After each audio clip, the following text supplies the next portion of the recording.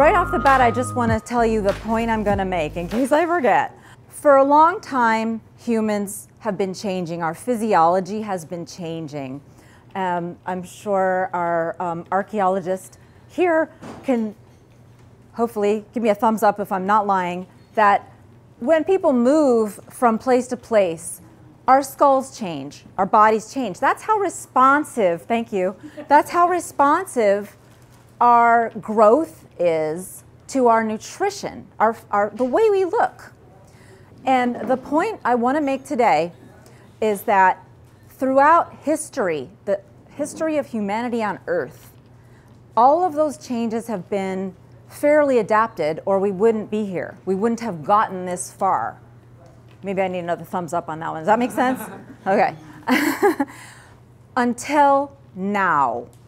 And the reason I'm showing my fam this is my family, um, is because it's happened to me. It's happened to my family.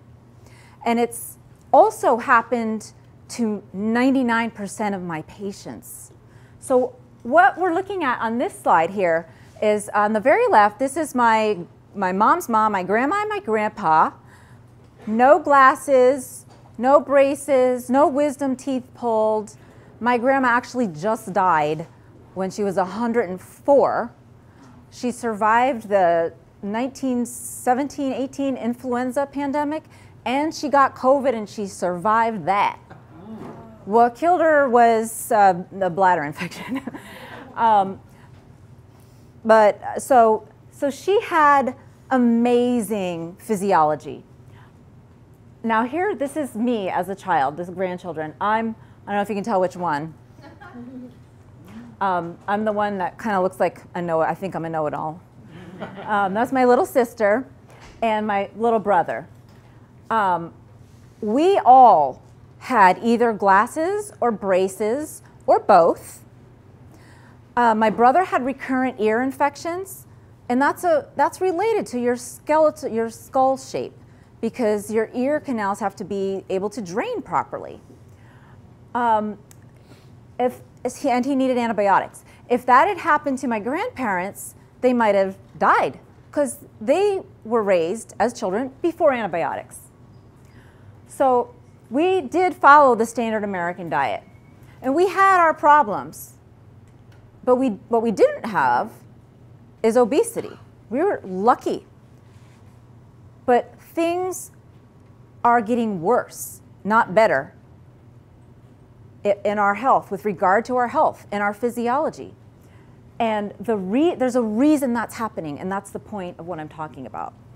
So I want to digress just a tiny bit on um, this, what I think is a fascinating reality, that healthy growth is geometric. It, uh, it obeys certain mathematic principles and it has to do with the Fibonacci formula and phi and all this kind of amazing um, stuff that we see throughout mathematics and physics and every form of life on earth follows the same general principle. Um, I wrote a, in this book, um, I talk about this and it's not because I think people who have this uh, geometry and are judged by society to be more beautiful because these are the people who make it to be movie stars or be models or be athletes. Um, it's not that I think they're better, they just grew better and they're more functional. And this is what I think is so amazing about good nutrition. When we put our DNA in contact with good nutrition, the kind that our genes have come to expect, we can grow with this beautiful geometry that exists in nature everywhere. That's the potential we have. And the downside is when we don't do that, it doesn't happen. And there's something, there's, so there's a role of nutrition, but there's a role of a disrupting agent. And this is an example of um, you might look at these two guys and think that they're brothers, right? Like one, and if I had to make you guess, is it the brother on the right or the left that looks like more likely to be, you know, the football star and the brother on the right or the left, it's a very subtle difference that we're talking about. Who, who, the brother on the right or the left that maybe like gets in trouble with the law or something extreme. Um, so let's just see by a, a show of hands. Who votes for the guy on the right to be the football star? Okay, okay. And who votes for the guy on the left to be a football star? So, okay, so fewer. All right, okay, I'm sorry. I, I never like to say, oh gosh, you guys are wrong. But I don't know how else to put it. It actually is, this is my opinion, so it's, I, you know, it's just you disagree with my opinion. The guy on the right is the guy that had corrective surgery to advance his jaw. It's the same guy. This guy, he, he, he went to a doctor, and the doctor specializes in putting faces more in alignment with that geometric principle. And so that's the result. And not everybody agrees, right? Because beauty is a little bit in the eye of the beholder. But a majority of people tend to find that certain geometry to be like more speaking to them about strength or about potential for leadership. Um, so there's so much that happens when we look at somebody's face. And it comes from what our parents and our grandparents and their grandparents did in terms of nutrition, whether they tapped in to the natural forces or whether, in my case, we kind of just tapped into the standard American diet. So here's what I ate growing up. Um, this is just an example of a typical day. I start out with Wheaties and 2% milk and plenty of sugar. Uh, I had a major sweet tooth. Then for lunch, I would have, uh, this is the nutritional analysis of my standard, like a standard meal I would have growing up. I would have um, 12 crackers that I would put on the plate and put peanut butter and jelly on them and make little sandwiches, and that would be my lunch. Um, and I'd have it with a glass of milk because you can't have peanut butter without having milk.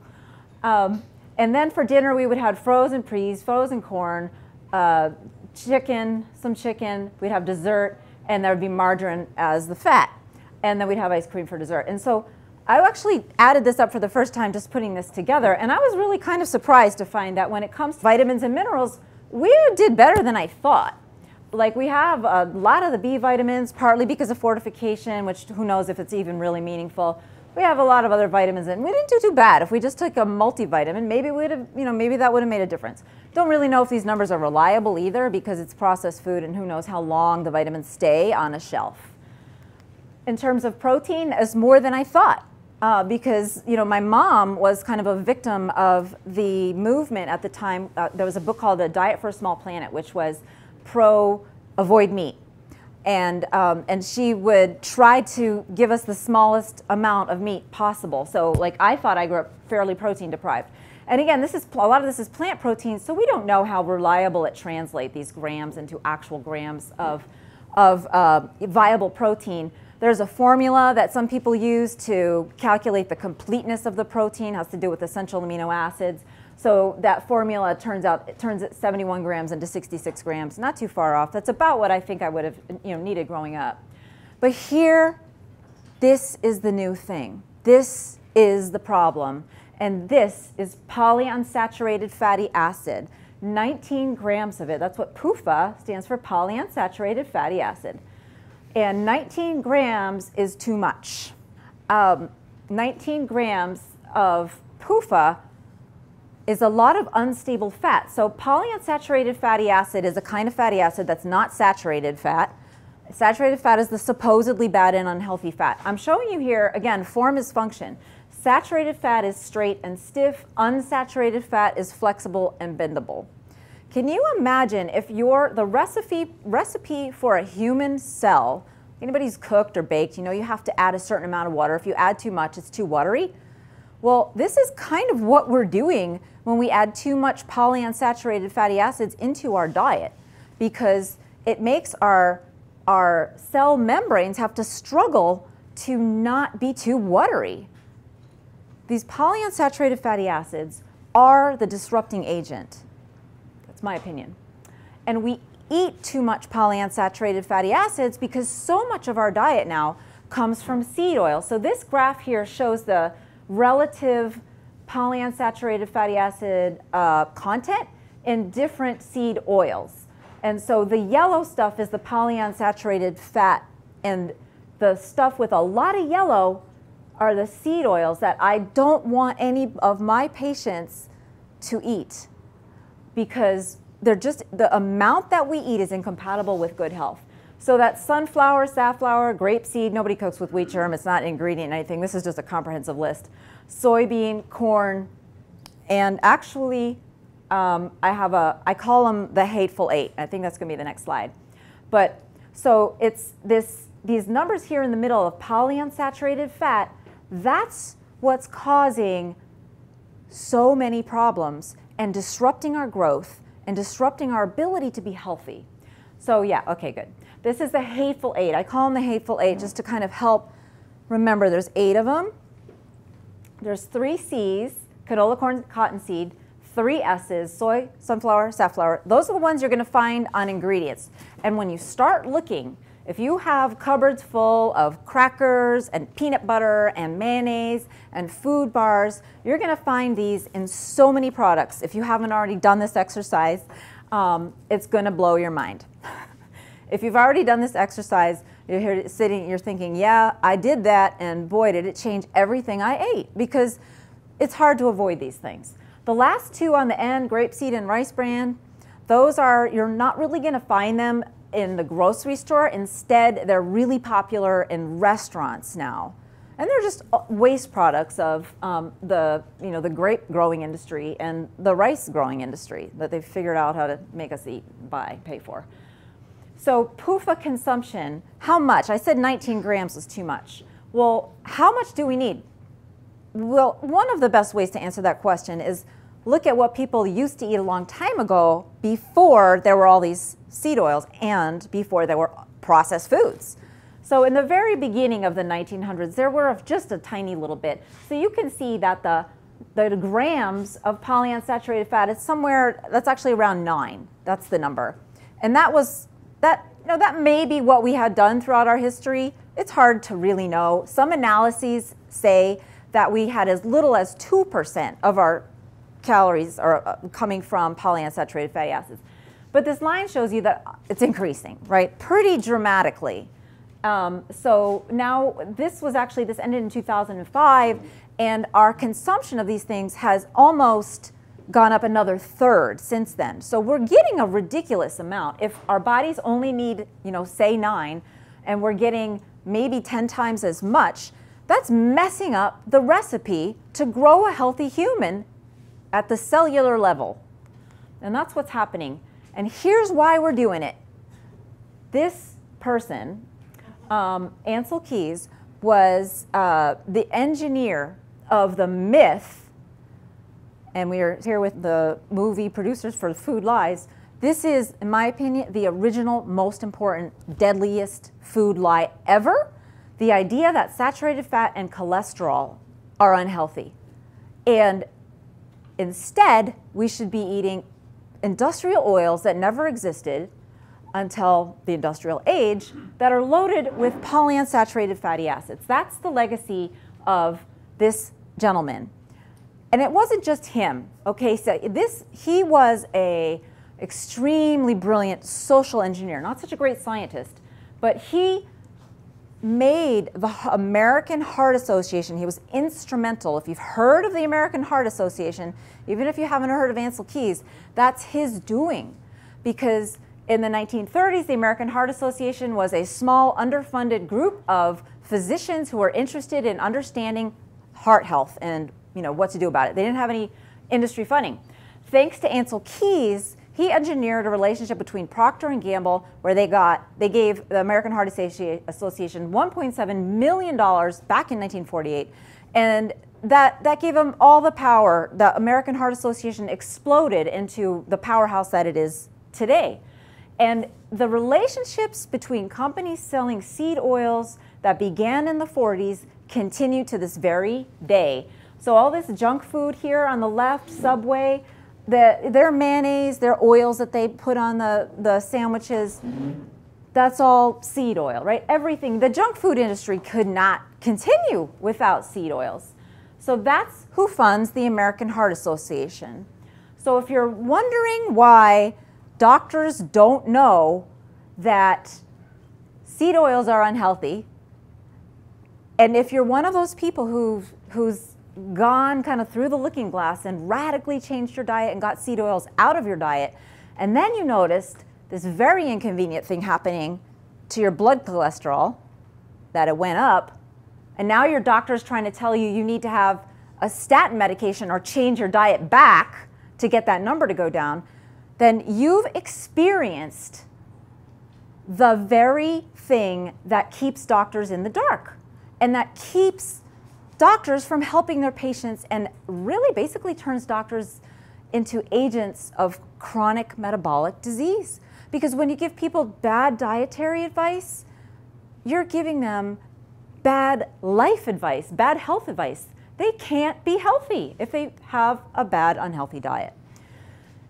This is, uh, the caption says the AHA, American Heart Association, will never show you this graph in 1950, Ancel Keys and the American Heart Association started a, a study, uh, the biggest study of its kind on diet and health. It was ultimately it was called the Seven Country Study. They studied the association of different kinds of fats with heart disease, and they studied cigarette smoking and how that played a role in heart disease. And for 20 years, they kept the data that they had collected on cigarette smoking, and cigarette smoking, their data said, was the major driver of heart attacks. They kept that secret. And they kept pushing this idea that saturated fat caused heart attacks and strokes. It was never true. It's not true now. And it never will be true. It was a lie. And if people are confused, and maybe you guys are not anymore, hopefully you're not, but I'm sure you have friends who are, and they're like, well, nobody knows anything about nutrition. They keep changing their mind. That's on purpose. What's better to confuse people than their doctor lying to them about what's a healthy diet and what's going to cause a heart attack? Of course, we're confused. I was confused when I first, you know, ran into this, the, the idea that it might not be true. Um, and by the way, I'm a doctor. I don't know if you mentioned that in the beginning. Sorry.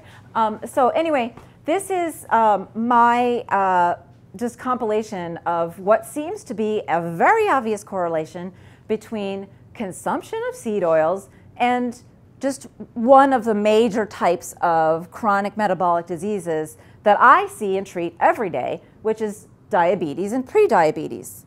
And look, there's a nice parallel line there between seed oils and diabetes and prediabetes. Not so much with the sources of saturated fat like butter or lard, which have gone down since the bottom of this, if you can't see the slide, it starts in 1909 and goes up to 2020. Um, not even so much with carb, and that includes sugar, right? Our sugar consumption as a proportion of carb has gone up. But the clear winner here in terms of guilty party is the seed oils. And they do a lot of really bad things to, to us. But one of the things that they do that's so insidious and the reason they make people gain weight is has to do with energy and what they do to your mitochondria, which is where your cells manufacture energy. They're like the little power plants for your cells, and the little batteries that they make are ATP, and that kind of like runs all those cellular machineries. ATP. So mitochondria make ATP. Mitochondria need fuel. Mitochondria are where you actually burn calories, and mitochondria are why we breathe oxygen because they use oxygen to create energy.